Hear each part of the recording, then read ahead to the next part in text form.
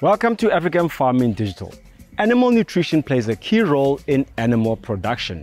If you want to get the best price for your animals, you have to make sure that they are fed well and properly.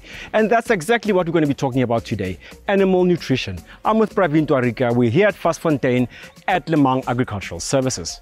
Praveen, thanks for having us. Always wonderful having you here. Welcome, Toby. Praveen, here's the thing that I notice when I'm a consumer, or as I'm a consumer is that when seasons change, the availability of milk is also affected by that.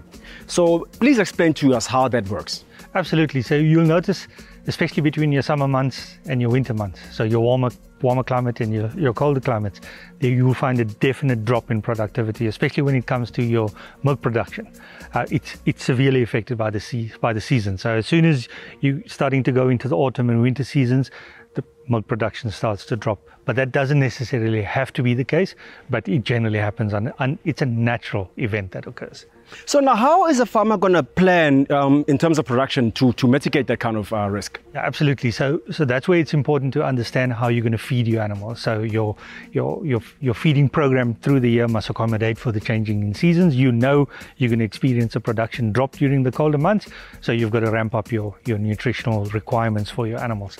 And, and that applies both your, your, your milk uh, production as well as your, your meat production. And, and that applies to sheep and that applies to goats and that applies to cattle as well. So it's important to understand that it's a natural cycle. So farmers must be aware of it and plan your feeding scheme according to that. Now I've heard of um, successful fodder flow programs. So how can you ensure that small scale farmers also implement successful feeding programs to their farms?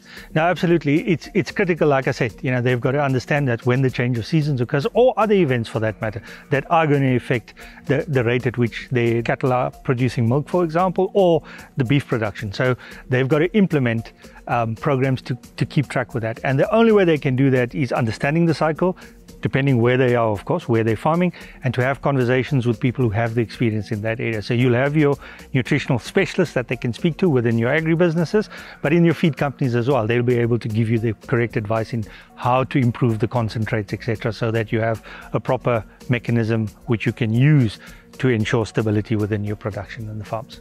So I'm a small scale farmer. I've got a couple of goats and a couple of sheep, but I actually don't know what to feed them and when to feed them. So where do I start? So you've got to have conversations with the farmers around you, have conversations with the agribusinesses, have conversations with technical experts in animal nutrition. But very importantly, it's you must get the community of practice in that area. Understand what they've been through, what they've experienced in the past, what solutions have they come up with that is that are able to support the small scale farmer that you are. Um, Obviously, you want to use the best possible remedy for, for the problem, but that doesn't necessarily mean that you need to break the bank. So look for cost effective solutions, but that's going to come with conversations and learning as you go along. Now, consumers are becoming more and more aware what goes into the food in terms of antibiotics. Yes. So, how can farmers actually keep up with the pace of this? You're 100% right. Consumers are a lot more aware. The speed of information these days is contributing to that awareness, not in a negative way, but certainly what we need to be aware of is that the consumer is not um, unnecessarily and unwittingly being fed these antibiotics and growth hormones that are being fed to animals. So it's very important for farmers to be aware of that and take pride in looking for alternatives to that so that when, when a consumer is enjoying food produced at a particular farm, they know it's either hormone free or antibiotic free as an example and find alternative ways to manage pests and diseases when it comes to animal nutrition. Praveen, thank you so much for your time. You're most welcome. There you have it. What you put in is what you get out. Make sure that your animals are properly nourished so that you get the best price for them when you sell. Thank you so much for watching African Farming Digital. And remember, we farm better together.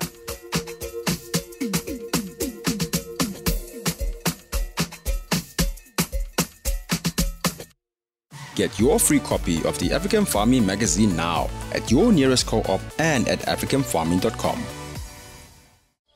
Get the necessary cover for you and your family in the event of unforeseen misfortune. The African Farming Protector Plan offers you comprehensive funeral cover for your entire family plus extended family at an affordable cost. Our product also offers benefits such as monthly discounts on groceries, discounted bus tickets, ambulance services, and trauma and assault assistance, to name a few. For more information on the African Farming Comprehensive Funeral Plan, SMS African Farming to 45269 and get the peace of mind you deserve.